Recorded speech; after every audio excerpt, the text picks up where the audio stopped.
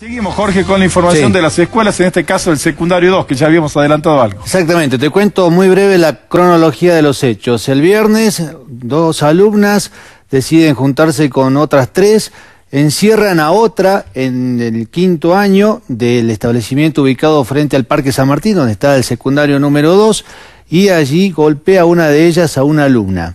Se produce el hecho de violencia en plena aula en la última hora. ¿Qué pasó? El lunes se vuelven a encontrar estas dos chicas. Una vez que la insultan, a quien había sido agredida reacciona a esta y en este caso se produce otra pelea, ya a- también adentro del establecimiento. Esto provoca que los padres sean llamados a una reunión que se llevó a cabo en la jornada de hoy. Pero ¿qué pasa en el medio mar? Diez chicos no están yendo a clases desde el lunes porque tienen miedo de ser agredidos por otros, pero son más que nada chicas las que no van a concurrir en estos días, producto de estas dos peleas, ya que no quieren ser agredidas porque según ellas pertenecerían al bando de quien agredió. ¿Serían las causas? ¿Cuáles serían las principales causas? de Bueno, que se el, peleen? el tema de la pelea, lo que desencadenó la pelea, y realmente es eh, absurdo lo que vamos a decir, pero bueno, es lo que realmente se, se- se dio a conocer, fue porque las chicas tienen diferencias por el logo, por el modelo de la campera que va a usar la promoción 2018 este año. Que ahora está de moda en todos los colegios. Bueno, Es está de moda que los chicos vayan. Claro, exactamente. Se les permite en muchos lugares donde hay uniformes que tengan colores llamativos, que tengan, eh, digamos, dibujos pintorescos, todo lo que, bueno, haga referencia a esta promoción que se despide. Pero en este caso los padres están conmovidos porque se ha producido estas dos peleas.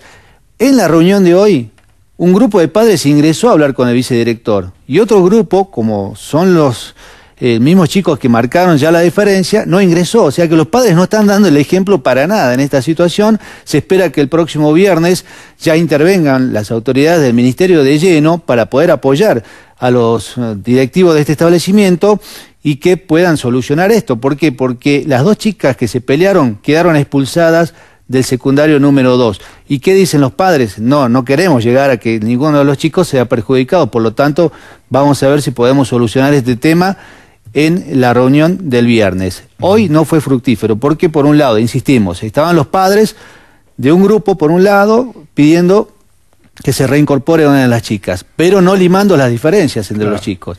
Y por otro lado, también pidiendo que se reincorpore la otra chica, pero tampoco limando las diferencias. Esperemos la intervención, como decís, del Ministerio de Educación, ¿no? que es clave en este tema, eh, por la participación de los docentes y también de los alumnos. Cada uno tiene que tener sus responsabilidades, además de los padres. Exactamente, creemos que las autoridades ya saben, porque la supervisora estuvo al tanto de todo, parece que le dio la directiva a este vicedirector, pero no fue fructífero el encuentro. Vamos a ver qué es lo que pasa el viernes, ya que hay, como decíamos, en un saldo, chicos expulsados, chicos que no van a clases por miedo y dos peleas que se produjeron adentro del edificio escolar, el viernes y el lunes. El que está al lado del hogar escuela. Exactamente, ese establecimiento. Bien. Y son todos compañeros de curso, eso es lo que más llama ¿no? la que se atención. solucione, pues son chicos que están en el mejor año de la secundaria, en quinto año, que se van de gira, tienen la cena blanca, muchas actividades y que se peleen de esta forma, realmente. Me gustaría mirar a la cámara y decirle, chicos, no se peleen, disfruten este Sí, año, que es el sí. último del secundario es uno de los momentos más lindos de la vida escolar que van a tener. Bien, Jorge, nos encontramos Omar. mañana nuevamente. Exactamente.